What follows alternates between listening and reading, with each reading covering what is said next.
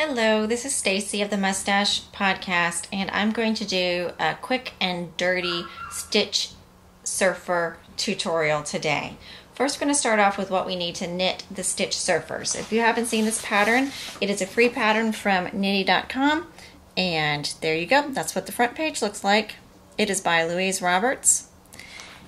What we're going to need to knit this is two yarns and I am using uh, Must Stash Yarns Perfect Sock in Elsa and Anna and in the Contrast and the Frozen colorway also Must Stash Yarns Perfect Sock. I'm going to use Magic Loop so I have myself an Addi number one turbo 40 inch. Just my preference. I'm also going to use a locking stitch marker. I have my vintage rose with the lobster claw but uh, any um, stitch marker works here, locking or removable. So what we're going to do is we're just going to lay the yarn over, oh, there we go, get back on camera. We're just going to lay the yarn over the needles. Here is my tail. You do not need a long tail, just enough to weave it in later. So here's my working yarn that's going to the ball. Now it just comes up and over the two needles. We need 16 stitches for this pattern. So we're going to wrap around. 1, 2, 3, 4, 5, 6, 7, 8, 9, 10, 11, 12, 13, 14, 15, 16. I'm just going to do one or two more. Just for good measure. And we come to the end and we're to hold it I'm going to hold it there with my finger and I'm holding the rest of the stitches with my thumb, kind of pressing them down. We're going to take the bottom needle out. Now you guys, this is a little bit um, cumbersome. I'm, I'm going to be a little bit clumsy because honestly, I've got the camera propped up in front of me and um, I'm having to reach around it. So uh, it's kind of hard to see what I'm doing if I drift off I'm going to try to notice as quickly as I can and drift back. So I'm just going to do my best here. Okay, so hold on to these stitches, otherwise they'll keep unwrapping. Now our yarn is coming up from the back, just like working yarn should. So here we go. Let's just start knitting these stitches. And once again, this is the Turkish cast on. one. Like I said, guys, it's kind of hard to do reaching around a camera.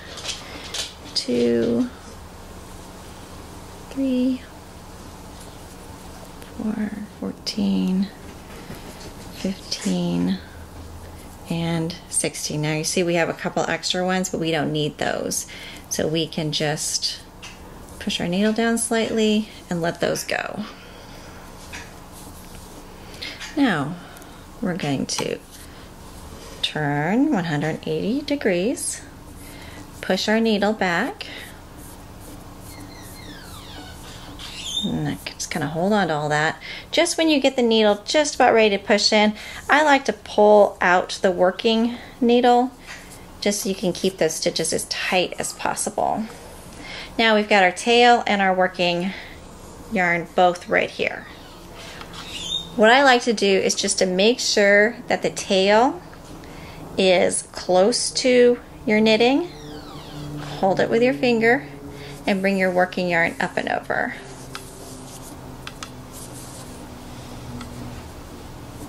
And that kind of pushes it into place, just like with um, Fair Isle, if you've done that before. Right, now let's start.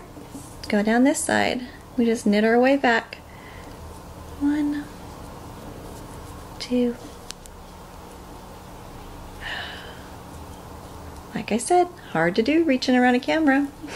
Three, four, 14, 15, and 16. And there we go. Okay, we've just done our cast on and I did the Turkish cast on. And for this pattern, we cast on 32 stitches. We have 16 on the top needle and 16 on the bottom needle. Now, to start, we are going to knit halfway across. So we're just going to knit the first eight stitches. And this is where we are going to place our stitch marker.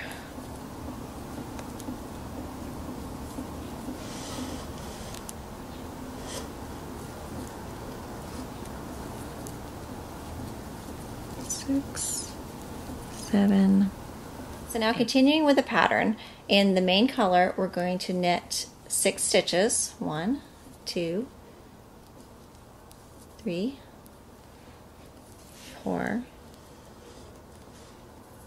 five, six. We have two left. So we're going to knit till we have two left. Now we're going to knit in the front and the back of the second to the last stitch on the left hand needle.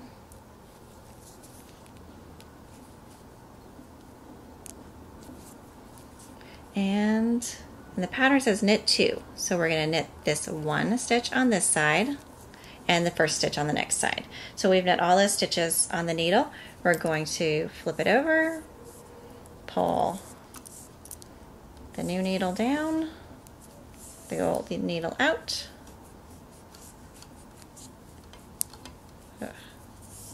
Here we go. Get my working yarn back there. Okay, now continuing with the pattern, we're going to knit this first stitch and the second stitch, we're going to knit the front and back.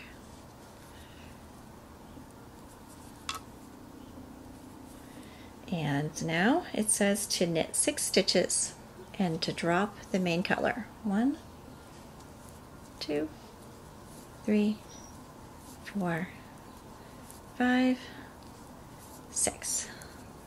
Drop the main color and now we're going to knit with our contrast color. Okay, so with the contrast color, we are going to knit six stitches. It's always the fiddliest to get it started, right? So that's one. And I'm going to put the, just like I always do, I put the tail over the working so that the tail is closest to the knitting and then I just kind of pull it tight. One, two, three, four, oops, five. Now I have two stitches left and that's where I'm going to knit in the front and the back for my toe increase.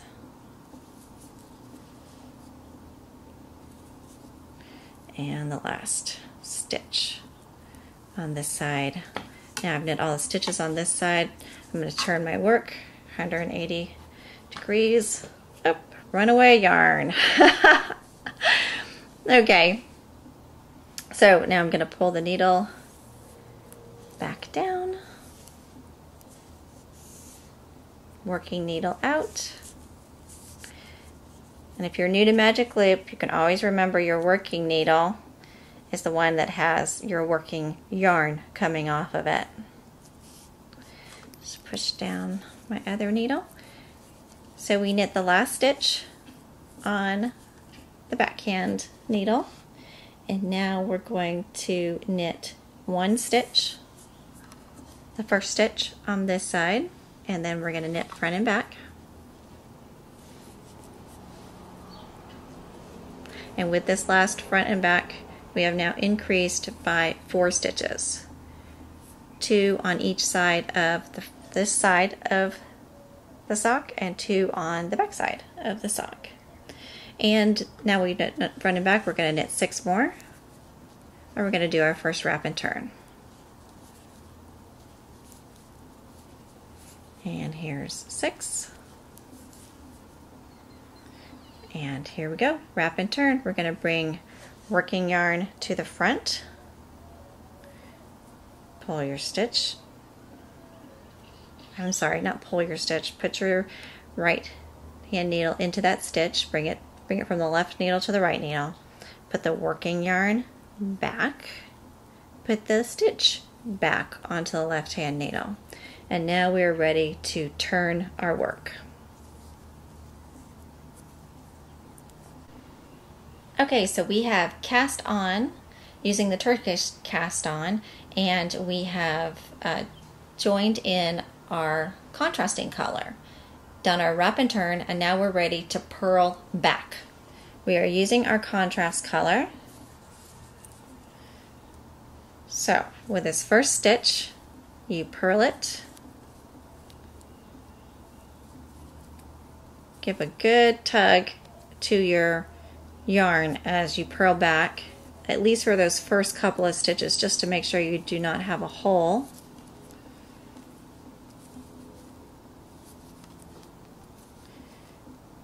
So if you're familiar with knitting uh, toe-up socks, you have an increase round and then a knit round or a resting round. So we're going to call this purling back the resting round.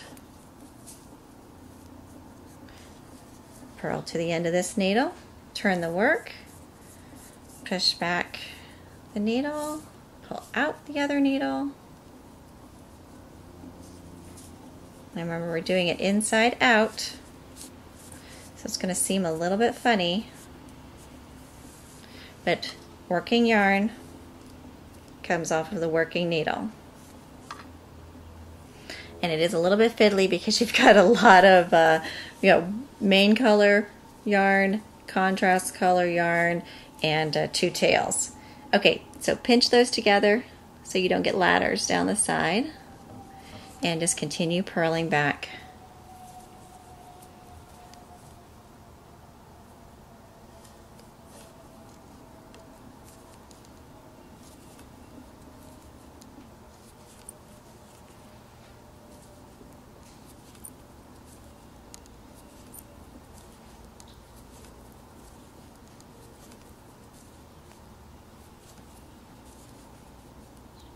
get to our main color.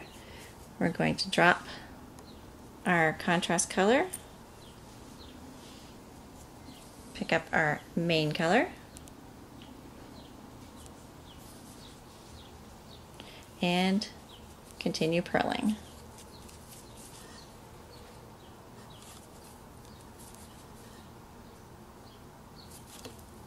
And at this point, it's a good idea to go ahead and pause I've, I've just purled a couple of stitches um, and pull your contrast color nice and taut so you don't have a hole there and continue pulling purling back until you get to the beginning of the round.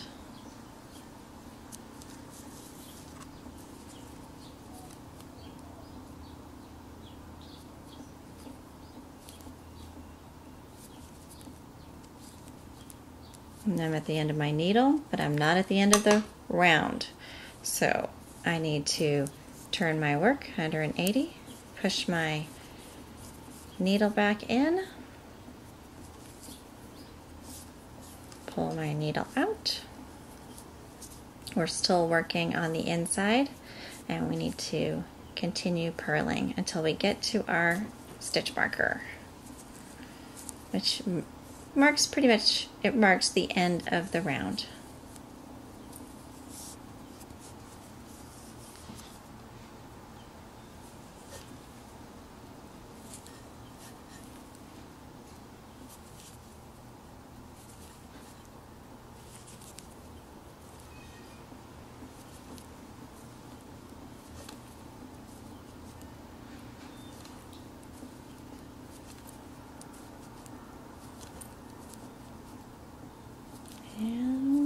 Last one. Now we're going to turn our work. So now we're looking at the outside of the sock. We were just knitting on the inside of the sock with our main color, which I'm still holding. We're going to slip the first stitch. And okay, so we're going to repeat what we just did. The only thing new is we're going to slip this first stitch of our main color. We're going to knit to two stitches before the end. We're going to do a front and a back. Then we're going to turn our work around, knit down the second needle by knitting the first, knitting front and the back. When we get to our contrast color, we're going to drop our main color, pick up our contrast color, continue knitting till we get to the end of this needle, knit in front and back, knit the last stitch, turn the work, knit the first stitch, knit front and back in that contrasting color, and knit until we get to the stitch marker. Then we're going to wrap and purl that next stitch, turn our work, and purl our way all the way back. You purl the contrasting yarn with the contrasting color and purl the main color yarn with the main color. Easy peasy. I have knit all of the toe increases except the last one and I thought I would go ahead and knit that with you guys. So how we begin our round is at our first main color we slip the first stitch and knit to the two from the end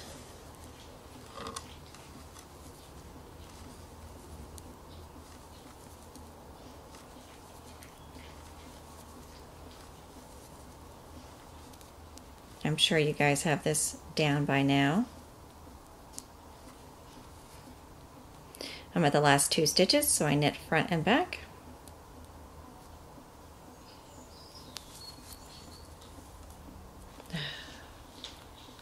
All right, let's try that again.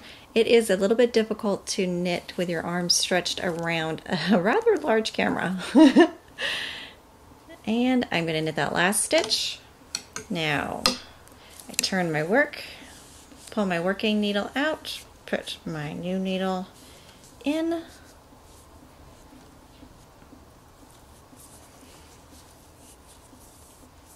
Knit the first stitch. And I knit front and back of the second stitch.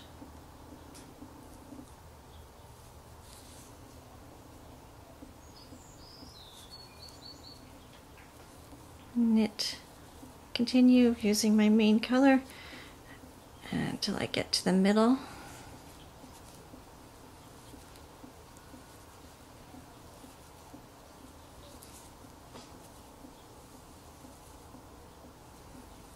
Now I'm going to drop my main color and I'm going to pick up my contrasting color and continue down the row to the last two stitches.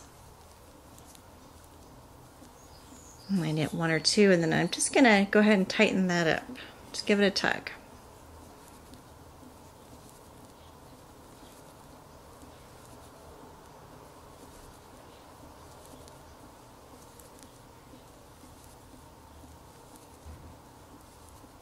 And I'm at the last two stitches so I knit front and back.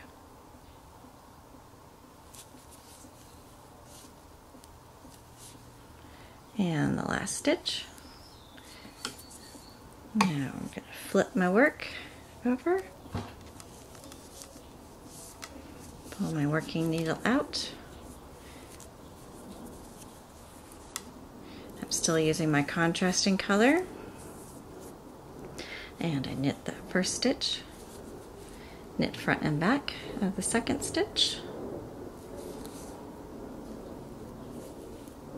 and continue to the stitch marker.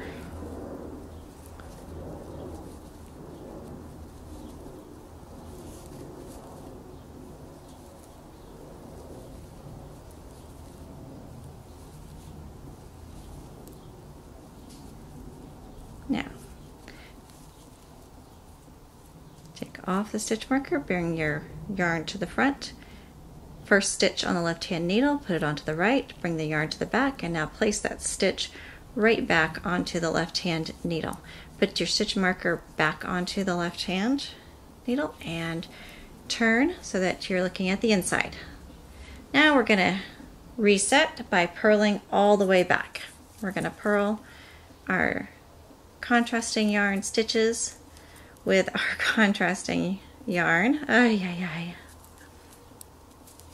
There we go. And when we get on to the second side, we're going to drop the contrast at the color change, pick up our main color, and continue purling till we get back.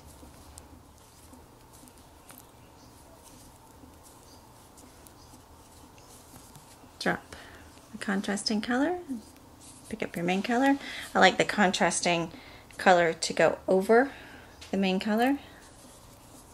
I hope I wasn't wildly off screen just then. Purl it, give a purl it, give a tug to your contrasting color that you've dropped. Knit another stitch, give it another good tug.